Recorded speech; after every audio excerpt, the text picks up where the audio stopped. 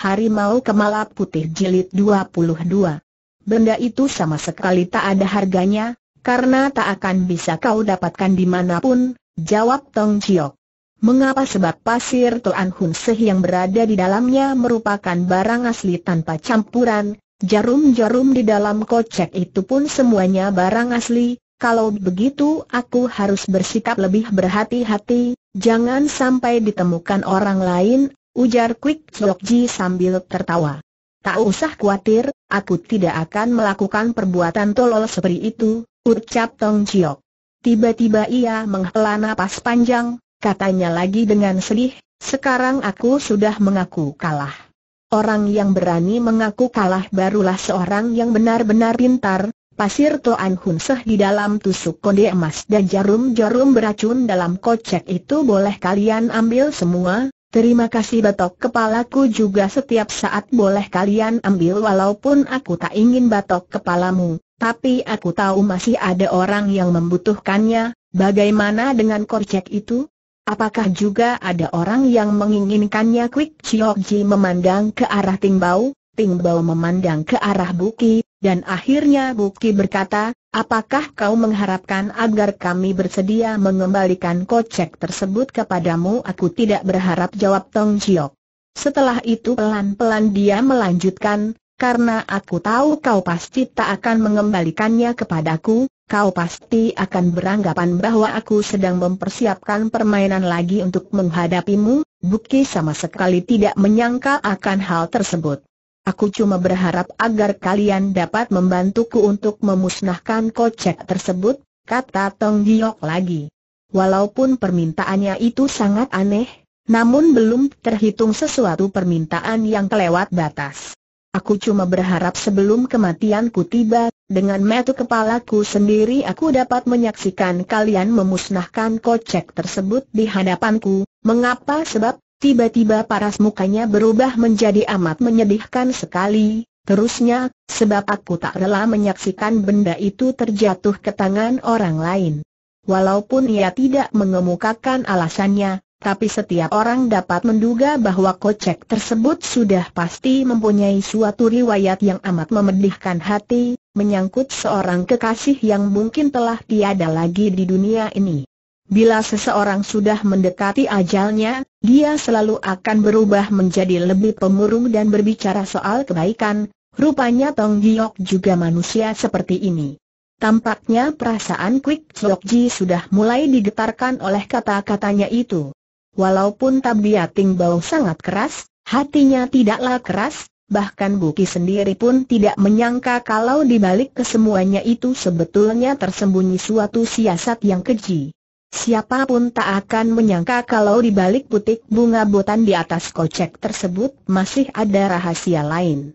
Tak peduli menggunakan care apa pun kau hendak memusnahkan kocek tersebut, asalkan butik bunga botan terbentur hancur, bukan saja orang itu akan hancur sama sekali, bahkan setiap orang yang berada satu kaki di sekeliling tempat itu juga akan tewas secara mengerikan.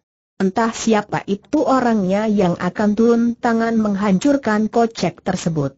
Orang yang lain pasti akan berdiri di sekitar tempat itu. Tentu saja terkecuali Tong Giok sendiri. Dia pasti sudah jauh-jauh menghindarkan diri. Sebab hanya dia yang mengetahui rahasia tersebut. Mereka telah merencanakan selama banyak tahun, telah menghimpun kecerdasan dari banyak orang, mengorbankan banyak tenaga dan uang untuk menciptakan rahasia ini. Rahasia tersebut mereka namakan sebagai San Hoa Tian Li, si gadis langit penyebar bunga.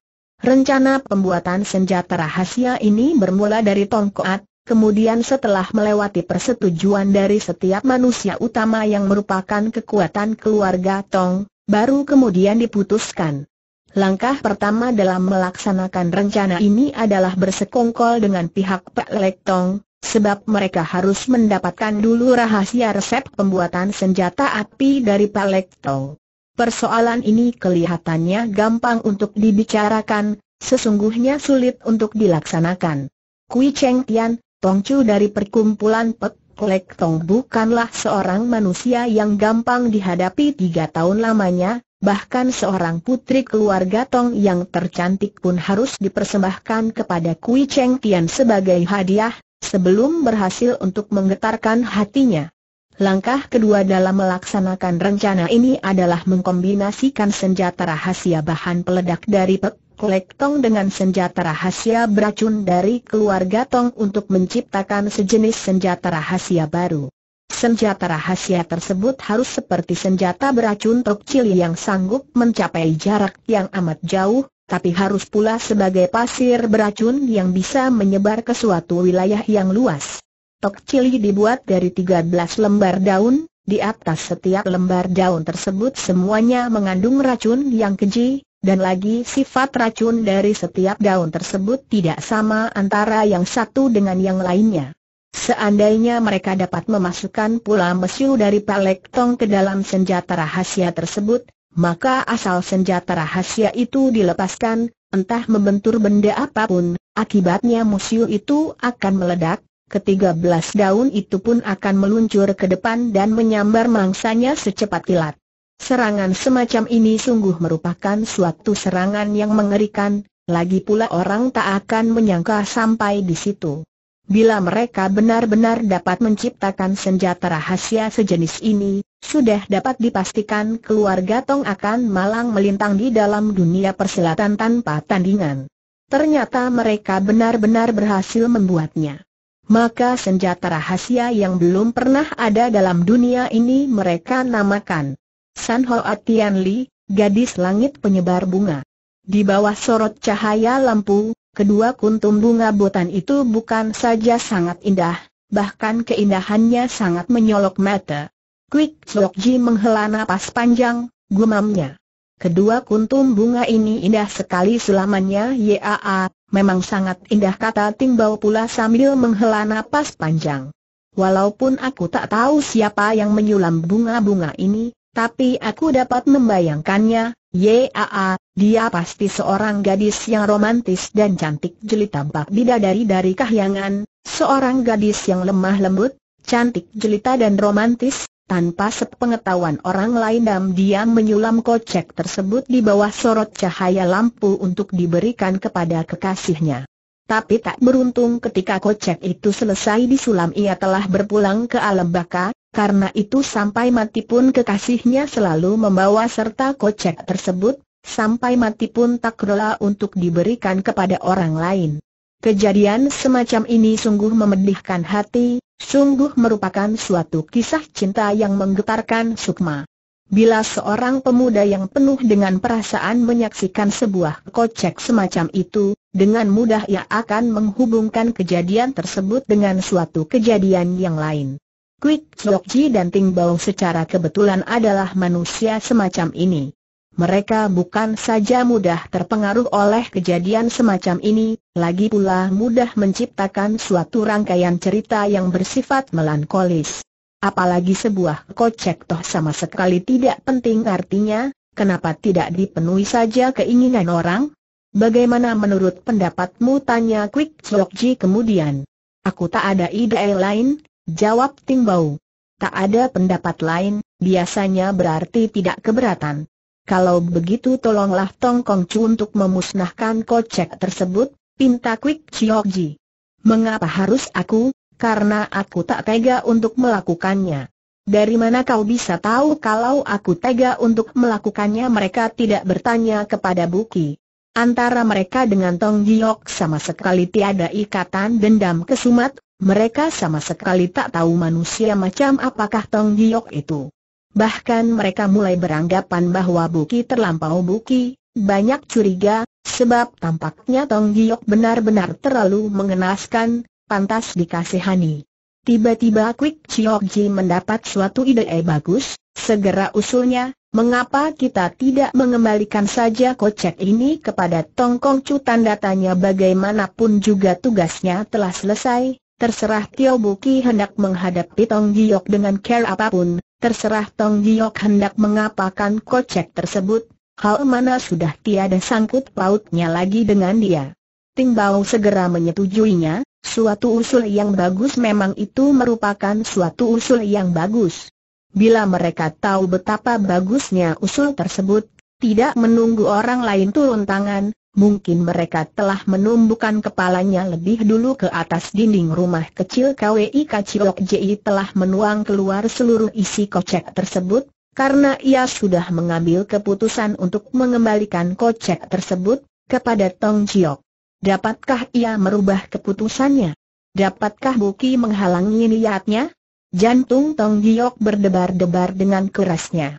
Bukan cuma jantungnya yang berdebar-debar keras, bahkan ujung jarinya ikut menjadi dingin, bibirnya terasa mengering bahkan tenggorokan pun seolah-olah tersumbat. Ketika untuk pertama kalinya ia merasakan keadaan seperti ini, kejadian tersebut sudah berlangsung banyak, banyak tahun berselang. Ketika itu bulan 4, juga musim semi, saat tersebut dia masih seorang bocah tanggung berusia 4-15 tahunan. Udara pada waktu itu lebih panas daripada hari ini, tiba-tiba ia merasakan hatinya sangat gundah. Waktu itu malam sudah semakin larut, dia ingin tidur namun Metis rasa tak mau memejam, maka seorang diri dia pun ngeloyor keluar dari kamarnya dan bermain ke sana kemari. Akhirnya ketika tiba di kebun belakang encimisannya, tiba-tiba ia mendengar suara nyanyian berkumandang datang dari sana. Nyanyian itu berasal dari dalam sebuah ruang kecil di dalam kamar tidur kakak misannya, selain suara nyanyian juga kedengaran suara air. Suara air tersebut berasal dari seseorang yang sedang mandi. Dalam ruang kecil itu ada sinar lampu. Bukan saja dari balik daun jendela ada cahaya lampu, dari celah pintu pun juga ada. Sebenarnya dia tak ingin menghampirinya, tapi hatinya waktu itu sedang gundah, Semacam perasaan gundah yang tak pernah dirasakan sebelumnya, suatu perasaan gundah yang sangat aneh. Maka dia pun menghampirinya. Di bawah pintu terdapat sebuah celah yang lebarnya hampir setengah inci, bila membaringkan tubuhnya ke tanah, ia pasti dapat melihat orang yang berada di dalam ruangan kecil itu. Maka dia pun membaringkan badannya ke atas lantai, menempelkan telinganya ke tanah dan matanya mengintip ke dalam melalui celah-celah tersebut. Ia segera dapat melihat kakak misannya itu. Waktu itu kakak misannya baru berusia 16 tahun. Pada saat itu, kakak misannya sedang mandi di dalam kamar kecil tersebut. Seorang gadis yang berusia 16 sudah terhitung cukup matang, ia sudah memiliki payudara yang kencang dengan sepasang paha yang putih dan halus. Inilah pertama kalinya ia menyaksikan tubuh telanjang seorang gadis yang baru dewasa, juga untuk pertama kalinya berbuat dosa. Tapi debaran jantungnya ketika itu masih belum sekeras debaran jantungnya sekarang. Quick Ji telah melemparkan kocek tersebut ke arahnya. Sejak ia mendengar Tong Giok hendak memusnahkan kocek tersebut sampai ia melemparkan kocek itu ke depan, waktu yang dibutuhkan hanya beberapa menit. Tapi bagi Tong Giok, waktu yang amat singkat itu justru dirasakan jauh lebih panjang daripada 60 tahun. Sekarang kocek itu sudah dilemparkan ke arahnya, sulaman bunga botan dari benang emas itu berkelip-kelip di tengah udara. Dalam pandangan Tong Giok ketika itu tiada cahaya yang lebih indah di dunia ini daripada kilatan cahaya tersebut. Ia berusaha keras untuk mengendalikan diri, agar jangan tampak terlalu tergesa-gesa. Menanti kocek itu sudah terjatuh ke tanah, pelan-pelan ia baru membungkukan badannya untuk mengambil. Yang dipungut sekarang bukan cuma sebuah kocek saja, tapi sepasang senjata rahasia, sepasang senjata rahasia yang akan memungut kembali jiwanya yang hampir melayang. Bahkan bukan cuma selembar nyawanya saja, masih ada nyawa dari Tio Buki, Huan Im San, Ting Bao dan Quick Chiok Ji. Pada saat itulah ia telah berubah menjadi orang yang paling berkuasa di tempat itu, sebab nyawa dari beberapa orang ini sudah berada dalam cengkeramannya. Detik itu dirasakan begitu cemerlang, begitu agung dan menggembirakan. Tong Giok tak dapat mengendalikan rasa geli dan gembiranya lagi, ia mendongakkan kepalanya dan tertawa terbahak-bahak. Dengan terkejut Quick Chiok Ji memandang ke arahnya, kemudian menegur, apa yang sedang kau tertawakan? Aku sedang mentertawakan kasah Tong ia sudah memencet kedua batang senjata rahasia San Hoa Tian Li yang tiada tandingannya di kolong langit itu di dalam genggamannya. Sambil tertawa tergelak, katanya lagi, kau tak akan menyangka bahwa perbuatan yang barusan kau lakukan sesungguhnya adalah suatu perbuatan yang amat bodoh, Bukan saja kau telah mencelakai jiwa Ting Bau dan Tio Buki, juga mencelakai jiwamu sendiri Kwik Chiok Ji masih memandang ke arahnya dengan terkejut, semua orang memandang ke arahnya dengan terkejut. Bukan karena gelak tertawanya, bukan pula karena ucapannya, melainkan karena raut wajahnya. Tiba-tiba raut wajahnya telah mengalami suatu perubahan yang aneh sekali. Tak ada orang yang bisa menerangkan bagian manakah yang telah berubah, namun setiap orang dapat melihat perubahan tersebut. Dalam waktu yang amat singkat, sinar matanya tiba-tiba berubah menjadi sayu dan buram, kelopak matanya ikut menyusut kecil. Kemudian bibirnya, ekor matanya seakan-akan mengejang keras dan kaku, selapis hawa hitam kematian yang sangat aneh mendadak muncul dan menghias wajahnya tapi ia sendiri seakan-akan tidak merasakannya, sedikit pun tidak merasakannya. Ia masih tertawa. Tapi sorot matanya tiba-tiba menampilkan suatu perubahan yang amat aneh, seperti seorang yang merasa ngeri dan ketakutan, ia telah menyadari bahwa dirinya telah melakukan suatu kesalahan yang fatal. Ia lupa kalau tangannya tidak mengenakan sarung tangan, dia pun lupa kalau tangannya belum dilindungi oleh lapisan lilin yang melindungi kulit tangannya dari sengatan racun. Ia terlampau gembira, dengan tangan telanjang meremas kedua biji senjata rahasianya, ia bertindak terlalu kuat sehingga ujung jarum yang tajam telah menusuk ujung jarinya itu. Tidak terasa sakit, sama sekali tidak terasa apa-apa, bahkan perasaan kaku atau kesemutan pun tiada. Racun yang dipoleskan di ujung senjata rahasianya itu adalah sejenis racun terbaru yang berhasil mereka ciptakan, bahkan obat penawarnya pun belum sempat dibuat. Pada hakikatnya senjata rahasia tersebut masih belum mencapai taraf yang memperbolehkan setiap orang untuk mempergunakannya. Menanti ia merasakan seluruh kulit badan serta persendian tulang dalam sekujur tubuhnya mulai mengalami suatu perubahan yang aneh dan menakutkan, Waktu sudah terlalu lambat. Ia sudah tak dapat mengendalikan dirinya lagi, bahkan untuk tertawa pun sudah tak dapat dikendalikan, malah ia sudah tak dapat mempergunakan tangannya lagi. Dia ingin sekali melepaskan kedua batang senjata rahasia itu ke depan, akan tetapi tangannya sudah tak mau menuruti perintahnya lagi. Dalam waktu yang amat singkat, racun tersebut telah merusak jaringan syaraf yang berada di dalam tubuhnya. Menyaksikan seseorang yang menunjukkan wajah ketakutan dan ngeri tapi masih tertawa tergelak tiada hentinya, sesungguhnya kejadian semacam itu adalah suatu kejadian yang amat menakutkan. Sesungguhnya apa yang telah terjadi tanya Kwik Chiok Ji. Racun jawab Buki dari mana datangnya racun belum lagi Buki sempat menjawab, tiba-tiba tangan Tong Giok mengejang keras lalu mengangkat ke udara, gerak-geriknya sangat aneh dan lamban, persis seperti gerakan tubuh boneka kayu. Perintah yang dipancarkan dari otaknya tadi, baru sekarang sampai di tangannya. Sekarang dia baru melemparkan senjata rahasia tersebut ke depan. Tapi sayang otot-otot di dalam tubuhnya serta persendian tulangnya sudah terlanjur kaku, syaraf yang mengatur ketepatan menimpuk pun sudah sama sekali punah tak berbekas. Kedua batang senjata rahasia itu meluncur ke depan dengan gerakan vertikal, seperti sejenis benda yang dilepaskan dari suatu alat berpegas tinggi, meski kekuatannya sangat besar namun arahnya sudah tak benar. Dengan kecepatan luar biasa, benda-benda itu meluncur ke sudut dinding yang terjauh dari kuil Dewa Harta itu dan menumbuk di atas dindingnya. Setelah itu, Blaam tanda seru terjadi ledakan keras. Meski suaranya tidak sekeras ledakan bahan peledak yang lain, akan tetapi akibat yang dibuatnya benar-benar mengerikan sekali. Untung saja Buki sekalian berdiri di tempat kejauhan dan lagi reaksi mereka pun cukup cepat.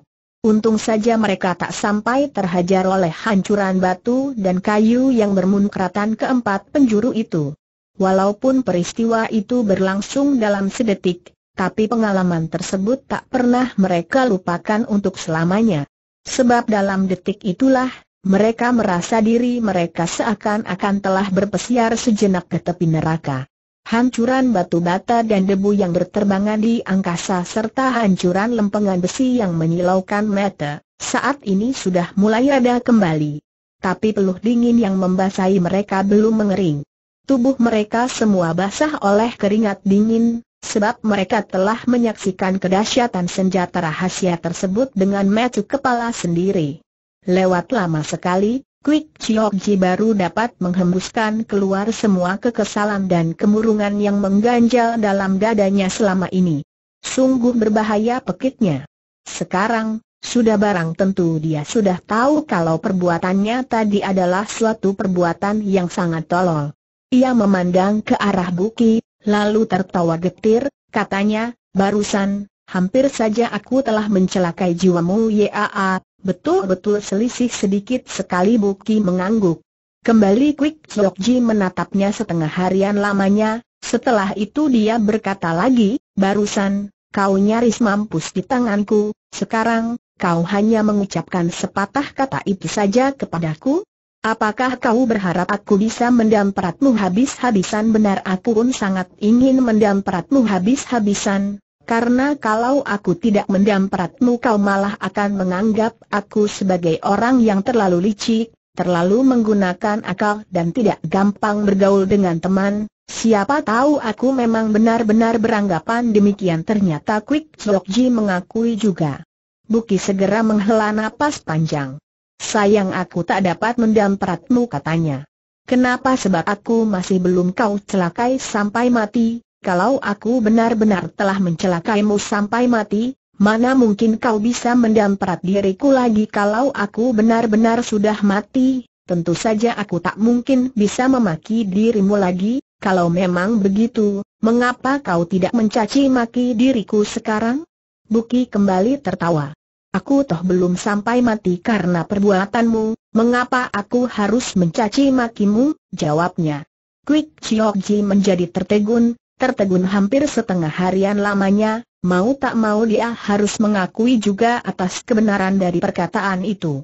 Ternyata ucapanmu sedikit agak masuk akal juga, katanya, memang sangat masuk akal setelah tertawa terbahak-bahak, terusnya, sekalipun kau menganggap teoriku ini macam kentut anjing yang busuk, aku rasa kau juga tak akan sanggup untuk berbantahan dengan diriku. Kenapa karena perkataanku itu sangat masuk akal, Quick Chiok ikut tertawa. Sekarang aku dapat memahami suatu hal serunya. Memahami apa jangan sekali-kali membicarakan soal Cengli denganmu, lebih baik berkelahi dengan kau daripada mengajakmu membicarakan soal Cengli, setelah tertawa tergelak, terusnya, karena siapa pun tak akan mampu untuk menangkan dirimu, tadi, Sebenarnya dia merasa amat menyesal dan penuh permohonan maaf tapi sekarang pikirannya benar-benar sudah terbuka. Sekarang, hati kecilnya 100% telah mengakui bahwa apa yang dikatakan Buki memang sangat beralasan. Ucapan yang bisa membuat terbuka dan leganya perasaan orang, sekalipun tak masuk akal juga menjadi masuk akal. Tong Giok belum mati. Ternyata ia belum roboh ke tanah, masih seperti sedia kala berdiri tak berkutik di sana. Tapi wajahnya sudah sama sekali kaku, kelopak matanya yang menyusut kencang tadi sekarang sudah membuyar, sepasang mata yang sebetulnya tajam dan jeli, sekarang telah berubah menjadi buram dan tak bercahaya, bahkan biji matanya pun tak dapat bergerak lagi sehingga sekilas pandangan mirip sekali dengan seekor ikan mati. Tingbau menghampirinya, menggerak-gerakan tangan di depan matanya, tapi sepasang matanya itu masih melotot ke depan dengan kaku dan tanpa berkedip, maka Tingbau mengeluarkan ujung jarinya dan pelan-pelan mendorong tubuhnya, kali ini ia roboh terkapar ke tanah. Tapi ia belum mati. Dia masih bernapas, jantungnya masih berdetak, nadinya masih berdenyut. Setiap orang tentunya dapat melihat di hati kecilnya dia pasti lebih suka mati daripada tersiksa selama hidup. Sebab keadaan semacam ini sesungguhnya jauh lebih tersiksa daripada mati, dia merasa jauh lebih enak mati daripada berada dalam keadaan begini. tapi sayang, dia justru tak bisa mati. Benarkah di balik alam semesta yang luas ini terdapat suatu kekuatan yang adil tapi tak berperasaan yang mengendalikan seluruh kejadian di dunia ini? Benarkah Tian sedang mengutuknya dan melimpahkan hukuman kepadanya? Rupanya dalam hati kecil Tingbau telah muncul suatu perasaan ngeri dan takut yang sukar dilukiskan dengan kata-kata, ia bertanya, Mengapa dia belum mati sebab dia adalah Tong Giok? Tiba-tiba Huan Im San menjawab tahun ini Huan Im San berusia 56 tahun Hampir separuh dari masa hidupnya dia habiskan untuk bergumul dalam dunia persilatan. Manusia semacam ini entah dia itu bajik atau jahat, baik atau buruk, paling tidak dia masih memiliki suatu kebaikan. Manusia semacam ini tentu tahu keadaan, tentu tahu diri. Oleh karena itu dia sangat memahami kedudukan serta posisinya pada waktu itu, dia selalu berdiri di samping dengan mulut membungkam, sepatah kata pun tidak bersuara. Tapi dia masih ingin hidup terus, hidup lebih baik dan hidup lebih nyaman, kalau muncul suatu kesempatan di hadapannya, dia tak akan menyia-nyiakannya dengan begitu saja. Karena dia adalah Tong Giok, maka dia belum mati kata Tingbau keheranan. Benar Wan Im San manggut-manggut. Apakah karena Tian sengaja hendak menggunakan care ini untuk menghukum manusia seperti itu bukan lantas karena apa? Karena dia adalah anggota keluarga Tong, yang terkena pun racun dari keluarga Tong, maka dalam tubuhnya terdapat semacam sirum yang memiliki kekuatan untuk menghadapi sifat racun tersebut, memiliki daya tahan terhadap racun itu YAA, Bila setiap hari kau minum endrin dan kadarnya setiap hari kau tambah, maka lama-kelamaan kau tak akan mampus bila suatu ketika ada orang hendak meracunimu dengan endrin, karena tubuhmu sudah memiliki daya tahan terhadap daya kerja racun tersebut, kalau memang Tong Giok sudah memiliki daya tahan terhadap racun yang dipoleskan di ujung senjata rahasia tersebut. Mengapa ia dapat berubah seperti ini obat racun yang dipakai keluarga Tong untuk menolesi senjata rahasianya adalah suatu rahasia besar, belum pernah ada orang di dalam dunia persilatan yang mengetahui rahasia mereka, termasuk juga dirimu tidak, aku mengetahui hal ini dengan pasti, bila obat racun yang dipoleskan pada ujung senjata rahasia itu adalah sejenis resep baru, sekalipun Tong Giok sudah memiliki daya tahan terhadap racun-racun yang lain, belum tentu daya tahannya itu bermanfaat untuk dipakai dalam menghadapi racun baru, setelah berpikir sebentar kembali dan melanjutkan, apalagi campuran bahan racun yang mereka gunakan bukan saja sangat rahasia lagi pula amat hebat, ada sementara racun yang saling berlawanan. Ada pula sementara racun yang dikombinasikan bisa berubah menjadi sejenis racun yang hebatnya bukan kepalang. Racun semacam itu meski tak sampai merenggut jiwanya, tapi dapat menghancurkan seluruh jaringan syaraf dan perasaan yang berada di dalam tubuhnya, bahkan bisa membuat segenap otot, segenap nadi dan persendian tulangnya menjadi kaku dan hilang rasa, oleh karena itu dia baru berubah menjadi seorang manusia yang setengah hidup setengah mati tanya Tingbau. Yaa, oleh karena sebagian besar indera dan anggota badannya sudah hilang rasa dan terputus dari kendali syaraf di dalam otaknya maka badannya sama dengan sesosok mayat, hanya denyutan jantungnya yang masih bisa berdetak, Tingbau menatapnya tajam-tajam kemudian katanya, tidak kusangka kalau kau memiliki pengetahuan yang demikian luas terhadap obat beracun, apakah kau juga pernah membuat racun? Aku belum pernah membuat racun, tapi membuat racun atau membuat obat kuat teorinya adalah sama saja. Setelah menghela napas panjang, kembali katanya, bagi seseorang yang membuat obat kuat, asal dia teledor sedikit saja maka akibatnya juga bisa berubah seperti begini ini, Bukankah hal ini sama halnya dengan bermain api orang yang bermain api tak akan menjumpai bahaya sebesar ini? Jawab Huan Im San sambil tertawa getir. Kalau sudah tahu begitu mengapa kau masih melatihnya terus Huan Im San termenung, lewat lama sekali dia baru menjawab dengan wajah sedih, sebab aku telah terlanjur melatihnya Yai Aa, karena ibaratnya menunggang di punggung harimau, mau turun takut, tidak turun pun susah, Benar-benar serba salah jadinya. Dalam dunia ini masih terdapat kejadian lain yang serupa dengan kejadian seperti itu, asalkah sudah memulainya maka selama hidup jangan harap bisa dihentikan lagi bila kau menghadapi seorang manusia yang setengah hidup setengah mati, entah dia itu sahabatmu ataukah seorang musuh bebuyutanmu, yang jelas kejadian ini merupakan suatu persoalan. Orang ini seperti sudah mati, seperti juga belum mati, Aku benar-benar tak tahu bagaimana harus berbuat Tingbao mengeluh dengan nada mendatar. Aku tahu tiba-tiba Buki menjawab. Apa yang hendak kau lakukan aku hendak mengantarnya pulang-pulang? Pulang ke mana dia adalah anggota keluarga Tong, sudah barang tentu aku harus mengantarnya pulang ke keluarga Tong. Tingbao tertegun. Telinganya maupun matanya masih cukup awas dan jeli, tapi sekarang hampir saja ia tak percaya dengan telinganya sendiri, ia tak percaya dengan apa yang didengarnya barusan. Apa kau bilang tak tahan tanyanya lagi? Sepatah demi sepatah kata Buki mengulangi kembali jawabannya.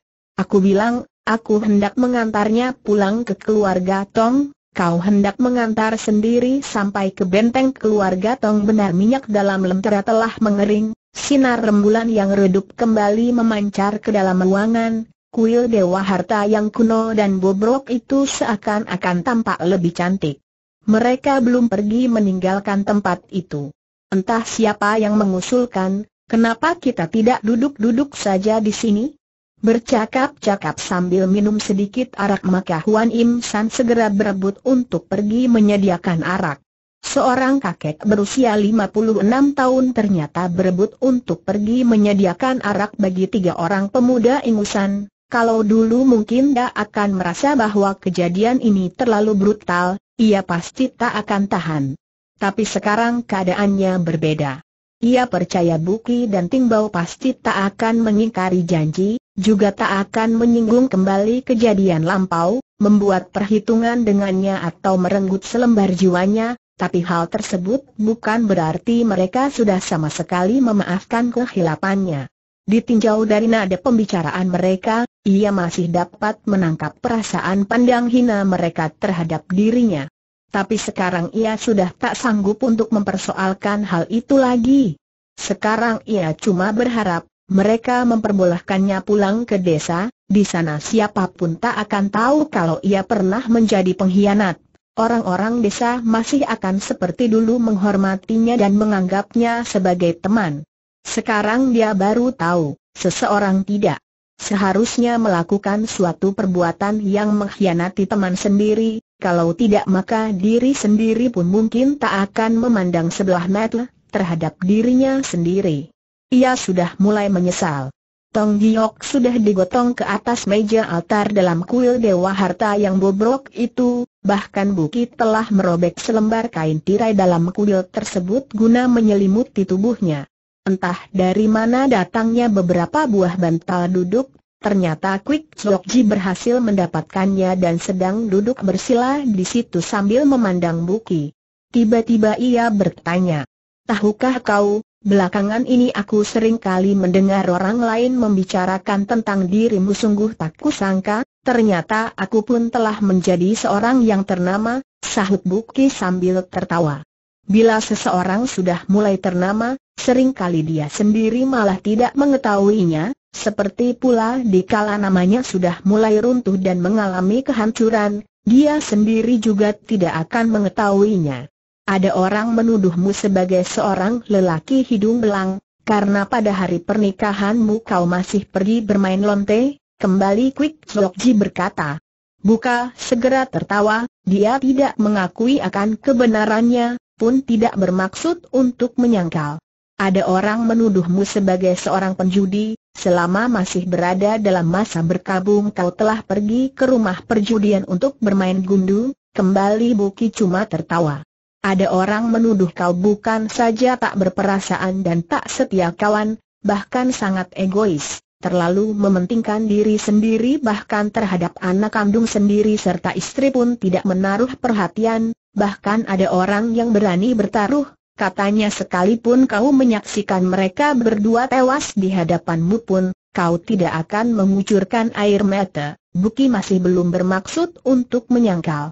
Oleh karena itu semua orang beranggapan bahwa kau adalah seorang manusia yang amat berbahaya, sebab kau dingin, kaku dan tidak berperasaan, terlalu pandai menguasai diri dan pintar mengatur siasat licin, bahkan manusia semacam Chiu Jit Saoya yang tersohor sebagai seorang rase tua pun pernah jatuh pecundang di tanganmu, setelah berpikir sebentar, kembali dia berkata, tapi semua orang juga mengakui akan suatu kebaikan yang terdapat pada dirimu, kau sangat memegang janji, tak pernah berhutang kepada orang lain, pada saat perkawinanmu dulu, kau malah mengundang datang semua pemilik hutang untuk membereskan semua perhitungan baru maupun lama yang telah dibuat selama itu. Buki segera tersenyum, sahutnya, mungkin hal itu dikarenakan aku telah menduga bahwa mereka pasti tak akan mendesakku terlalu terburu-buru dalam hari semacam itu.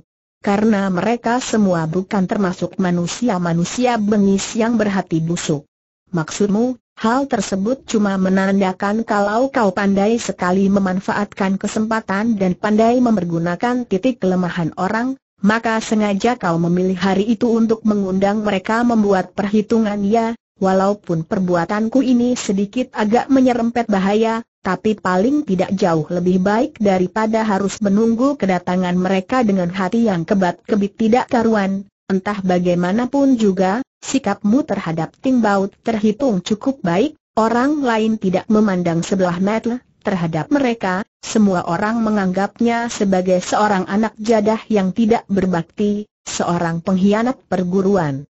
Tapi kau telah menganggapnya sebagai seorang sahabat, mungkin aku bersikap demikian karena aku ingin menggunakan dirinya untuk menyelesaikan persoalan yang sedang kuhadapi, oleh karena itu terpaksa aku harus mempercayainya, terpaksa harus mencarinya untuk minta bantuan, sehingga Tong Giok dan Huan Im San baru terperangkap oleh siasat yang kuatur, setelah tertawa, kembali dia berkata, apalagi aku sudah tahu sedari dulu bahwa dia bukan seorang anak jadah, juga bukan seorang pengkhianat perguruan, dari sekian banyak kabar berita yang tersiar dalam dunia persilatan tentang dirinya, Semuanya itu sebetulnya masih ada rahasia lain, tentu saja Kwik Chiok Ji juga mengetahui tentang persoalan ini. Ting Bau meninggalkan rumahnya lantaran dia menemukan penyelewengan yang dilakukan ibu tirinya. Ia telah membunuh kekasih ibu tirinya, memaksa ibu tirinya mengangkat sumpah untuk selamanya tidak melakukan perbuatan terkutuk lagi, tapi untuk menghindari rasa sedih ayahnya yang sudah tua, ia telah merahasiakan kejadian tersebut. Atas peristiwa itu, ayahnya malah mengira dia berani berbuat kurang ajar dan kurang sopan terhadap ibu tirinya. Maka terpaksa dia harus angkat kaki dari rumah. Ia mengkhianati perguruan, karena ada orang mencemooh Kim Kitojin, ia tak tahan maka ditantangnya orang itu untuk berduel mewakili gurunya, tapi dalam pertempuran tersebut sebuah lengannya terpenggal sampai kutung, maka gurunya mengusir dia dari partai Butong, karena ia sudah menjadi cacat dan tidak pantas untuk melatih ilmu pedang aliran Butong Pei lagi. Siapa pun juga yang mengalami peristiwa semacam ini, tabiatnya pasti akan berubah menjadi begitu, kata Buki, tapi justru manusia semacam ini, bila orang lain memberi sedikit kebaikan saja kepadanya, bahkan ia rela untuk memenggal batok kepala sendiri dan dipersembahkan kepada orang lain, apakah lantaran siasat ini, maka kau baru berbuat baik kepadanya kembali Kwik Chok Ji bertanya. Paling tidak itulah salah satu siasatnya, kalau didengar dari perkataanmu itu, agaknya bahkan kau sendiri pun menganggap dirimu bukan orang baik. Aku memang bukan orang baik-baik. Kwik Chok Ji menatapnya lekat-lekat. Mendadak ia menghela napas panjang, gumamnya, sayang, sayang tanda seru apanya yang sayang-sayang terlampau sedikit orang jahat macam kau ada di dunia ini, Timbau yang selama ini membungkam segera tertawa, timbrungnya dengan lantang. Walaupun Ciok Jibina lagi latah, paling tidak ia masih memiliki suatu kebaikan, yakni baik atau buruknya seseorang ia masih dapat membedakan secara jelas. Ciok Ji ini malah masih bisa membedakan mana yang teman sejati mana yang bukan, sambung Quick Ji cepat-cepat. Buki menatap kedua orang itu lekat-lekat, kemudian berkata, kamu berdua betul-betul menganggap aku sebagai seorang sahabat sejati jika kau bukan seorang sahabat kami, apa gunanya kuajak kau membicarakan soal tetek bengek macam begitu? Jawab Quick Ji. Buki menghela napas panjang. Sungguh tidak kusangka kalau di dunia ini masih terdapat seorang tolol semacam kau, ternyata bersedia mengikat tali persahabatan dengan seorang macam aku ini, paling tidak orang tolol itu masih lebih mendingan daripada seorang sinting. Siapa yang sinting kau? Buki segera tertawa tergelak, sebenarnya aku mengira diriku ini tak lebih hanya seorang lelaki hidung bangor, seorang setan judi, tak kusangka ternyata aku juga seorang sinting kini, sekalipun Sang Kuan Jin telah menjadi menantunya keluarga Tong, sedang tiba di masa-masa yang paling gembira baginya, tapi di hati kecilnya pasti masih terdapat persoalan yang tidak menggembirakan hatinya mengapa karena kau belum mati bila membabat rumput tidak seakar. Akarnya, angin musim semi berhembus lewat rumput itu akan tumbuh kembali. Mereka tidak sekalian membinasakan Buki, Sang Kawan Jin pasti akan merasa amat menyesal. Bila orang-orang keluarga Tong tahu atas semua perbuatan yang telah kau lakukan, mereka pun pasti amat berharap dapat memenggal batok kepalamu, agar ayah ibu, paman, kakak dan adik Tong Gio ikut menyaksikan tampangmu itu setelah menghela napas terusnya. Sekarang kau malah hendak mengantar Tong Gio pulang, agaknya kau khawatir kalau mereka tak berhasil menemukan dirimu, jika kau bukan seorang sinting, mengapa kau lakukan perbuatan semacam ini walaupun Buki masih tertawa, namun tertawanya tampak amat lirih, pedih dan mengenaskan. Hanya seorang manusia yang banyak menyimpan rahasia hati namun tak dapat mengutarakannya keluar baru akan memperlihatkan senyuman semacam ini. Lama sekali dia tertawa, sampai mukanya terasa lindu semua lantaran kebanyakan tertawa. Tiba-tiba ia tidak tertawa lagi, karena ia telah bertekad untuk menganggap kedua orang ini sebagai sahabatnya. Walaupun terdapat banyak persoalan yang tak dapat diutarakan kepada orang lain, tapi tak usah dirahasiakan lagi di hadapan seorang sahabat karibnya. Maka dia pun berkata, Aku bukan seorang anak yang berbakti. Setelah mendiang ayahku tertimpa musibah, aku tidak bunuh diri di hadapannya, juga tidak mendirikan gubuk di sisi kuburan ayahku untuk menemaninya berkabung, tak pernah melelahkan air mata dan ingus, aku pun tak pernah menangis sampai melelehkan darah atau meraung-raung untuk ke sana kemari memohon bantuan orang guna membalaskan dendam bagi kematiannya ia memang seperti seorang anak yang tidak berbakti, seakan-akan sudah lupa dengan dendam sakit hatinya tapi dia menganggap menjadi seorang anak yang berbakti bukan dilakukan untuk diperlihatkan kepada orang lain. Kembali katanya, persoalan ini adalah persoalan pribadiku sendiri, aku tidak ingin merepotkan siapa saja, juga tak ingin membawa Tai Hang Tong menuju ke suatu bentrokan secara langsung dengan keluarga Tong lantaran peristiwa ini, karena bila kejadian tersebut sampai berlangsung, tentu banyak darah yang akan mengalir. Siapa membunuh orang dia harus mati, Sang Kuan Jin harus menerima hukumannya itu secara pribadi. Itulah sebabnya walaupun karena alasan apa pun, aku tak akan melepaskannya begitu saja maka kau bertekad hendak berangkat ke sana dan mencarinya sendiri tanya Quick Ji. Kalau memang tiada kekuatan lain yang bisa mencegah dan menghalanginya, terpaksa aku harus turun tangan sendiri kemudian ia melanjutkan, tapi organisasi keluarga Tong terlalu ketat dan rapat, lingkungan kekuasaannya juga terlalu luas.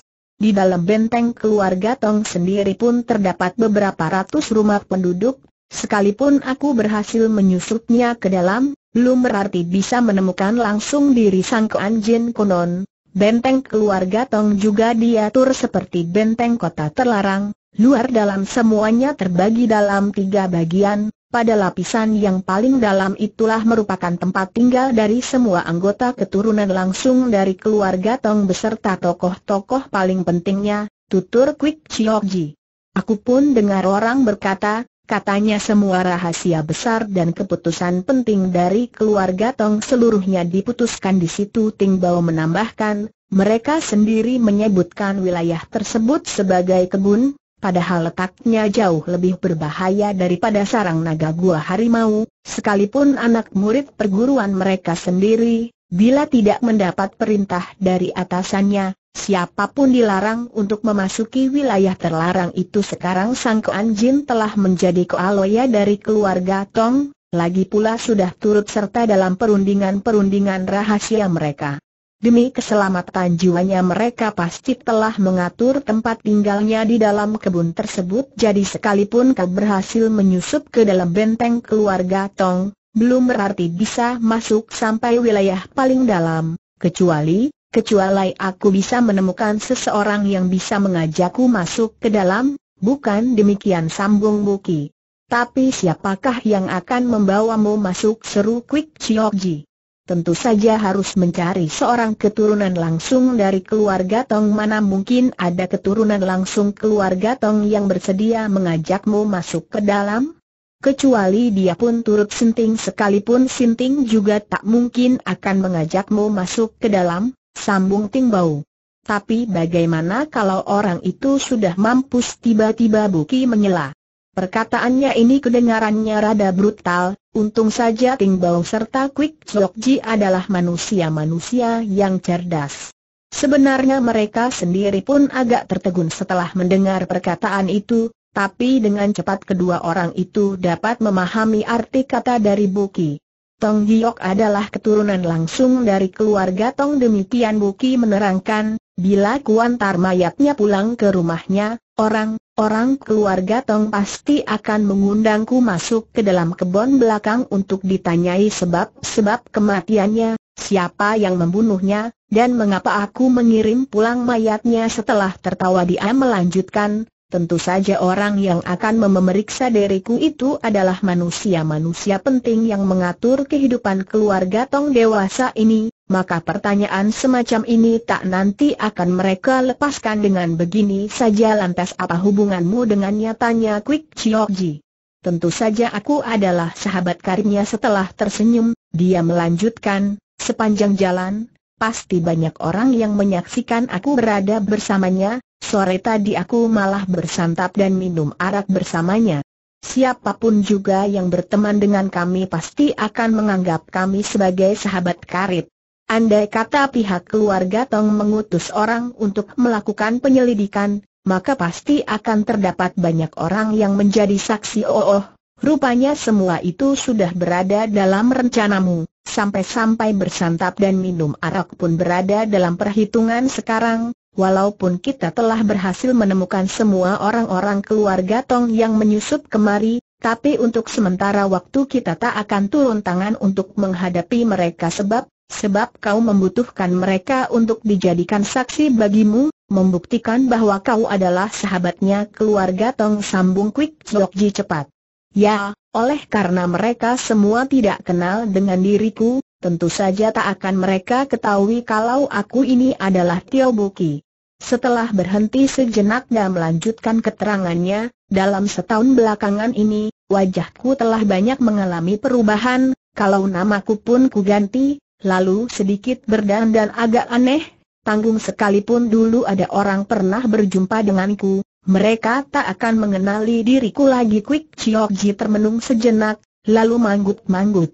Kedengarannya rencanamu itu memang bagus dan sempurna, agaknya kau telah melupakan sesuatu hal. Coba kau katakan sampai detik ini Tong Giok kan belum mampus belum mampus. Justru lebih baik lagi mengapa sebab dalam keadaan begini, orang-orang dari keluarga Tong tentu akan semakin percaya kepadaku, mereka lebih tak akan menaruh curiga kalau aku adalah Tio Buki setelah tersenyum terusnya, sebab kalau aku adalah Tio Buki, mengapa kuantar dia pulang ke benteng keluarga Tong dalam keadaan hidup masuk akal juga perkataanmu itu inilah yang dinamakan orang sebagai sesuatu yang telah mati tahu-tahu bangkit kembali, walaupun dengan jelas diketahui bahwa tindakan semacam ini tak masuk akal.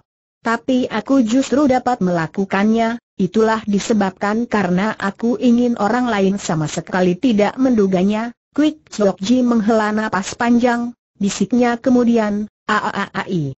Sekarang agaknya bahkan aku pun merasa rada kagum kepadamu, Buki segera tertawa lebar, jangankan kau, malah aku sendiri pun kadang kala merasa kagum terhadap diriku sendiri oleh sebab itu, asal kau telah berangkat ke benteng keluarga Tong bersama Tong Giok, aku akan menangis terseduh-seduh selama tiga hari lamanya mengapa harus menangis?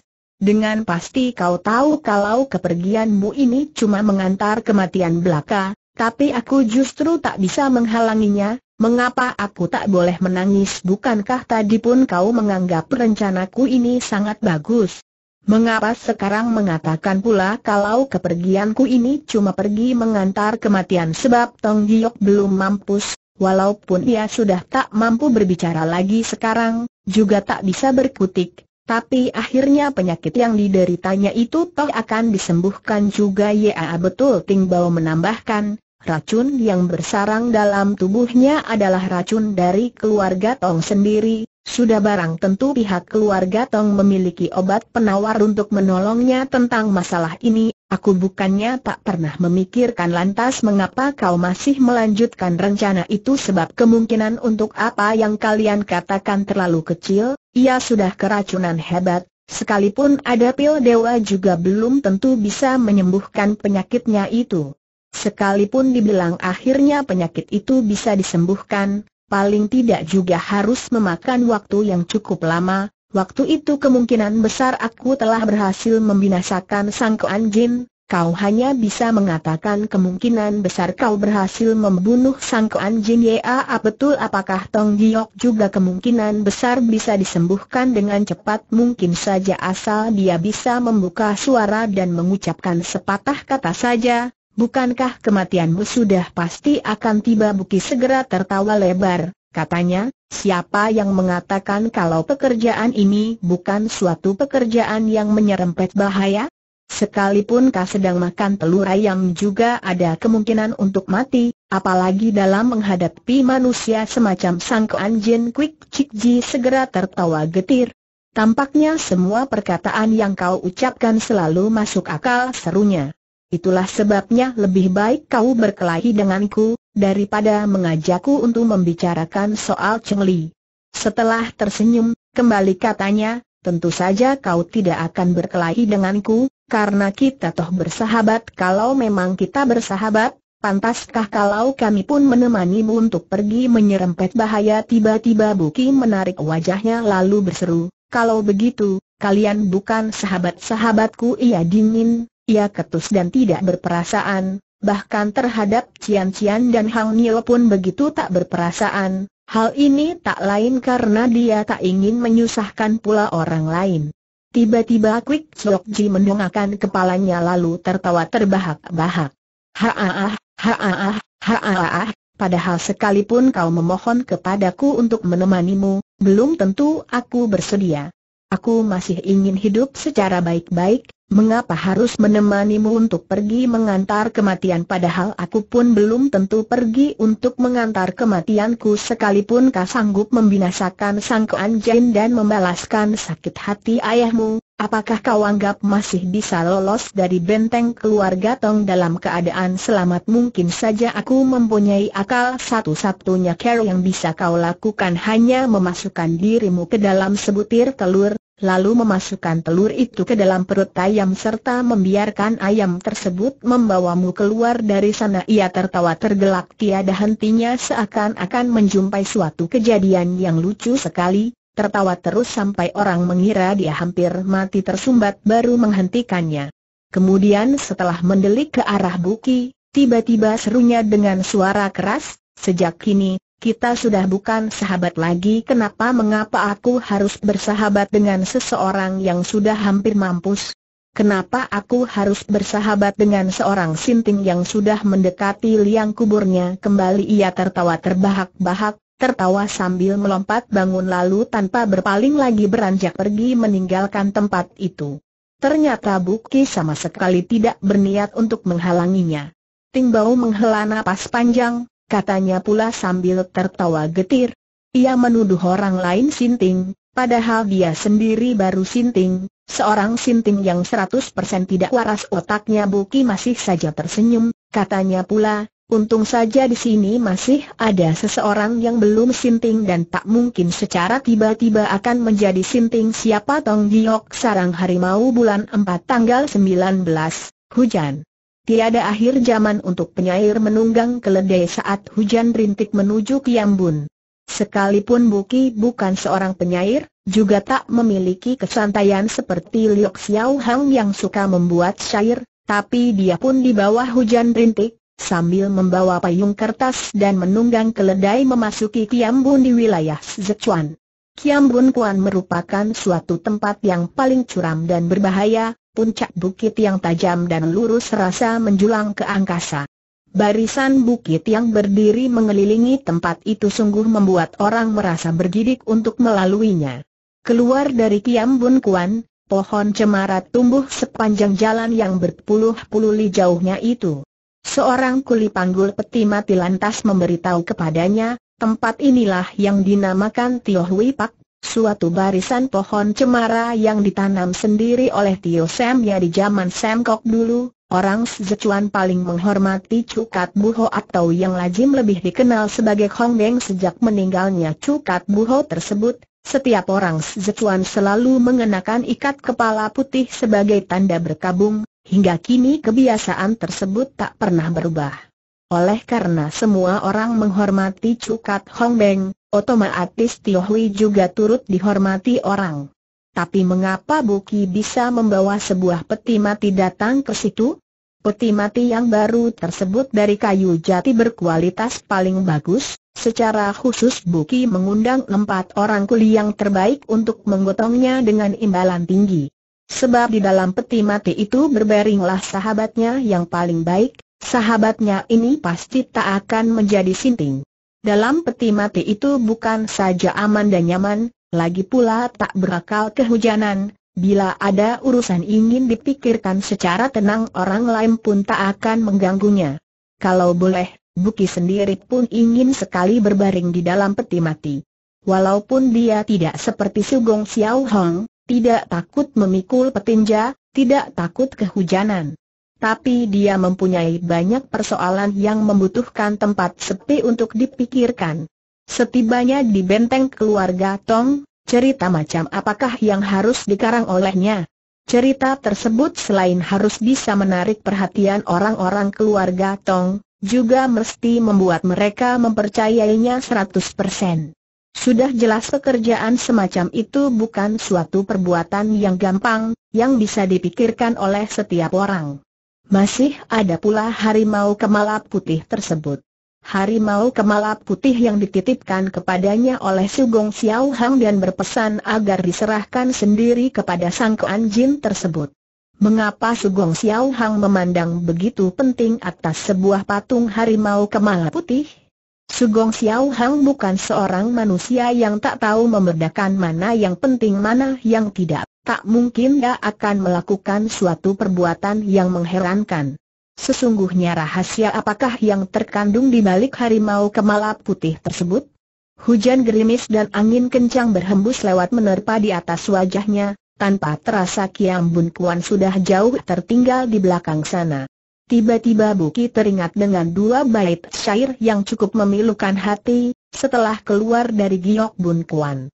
Air mata bercucuran tak pernah mengering sekalipun tempat ini bukan Giok Bun Kuan, Tempat ini adalah Tiangun Kuan, tapi setelah keluar dari tempat tersebut, untuk kembali dalam keadaan hidup rasanya lebih sulit daripada naik ke langit.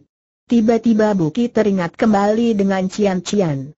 Ia tak berani memikirkan Hang Niu, dia benar-benar tidak berani untuk memikirkannya.